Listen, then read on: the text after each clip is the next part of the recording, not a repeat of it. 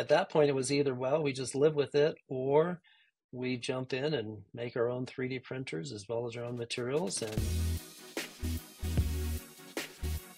yeah, we did a lot of early work with uh, using several different commercial 3D printers and looking at commercial resins for microfluidics and found that the resolution for the negative features, which are the key thing in microfluidics, just was not there. So we we thought, well, gee, let's do our own custom resins, and maybe that will be good enough. And so we explored that, and we found that uh, no, that's not good enough.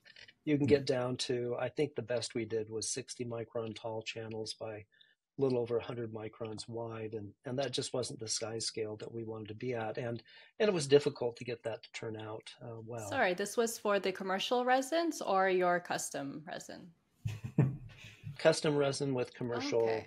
uh, 3D printer. Mm, okay. And uh, and so at that point it was either well we just live with it or we jump in and make our own 3D printers as well as our own materials and and solve the real problems to get down to the size scales we need to be and and you know that wasn't necessarily an attractive proposition but but on the other hand uh, just living with what was available was also not attractive so just decided to go for it